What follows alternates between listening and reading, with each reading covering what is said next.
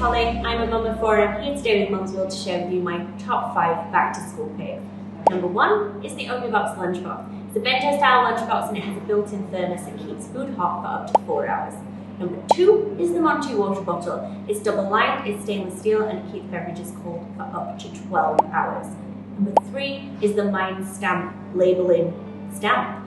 It, uh, it's used on textiles, you can stamp it on masks, on clothes, and it makes sure that all your children's essentials don't get lost. Number four is the Yumbox Snack Box. It's small, it's compact, it's petite, but it's large enough for your children to feel full throughout the day. Number five is the Skip Hop Backpack. It's the perfect size to fit in your lunchbox, your snack box, and your water bottle.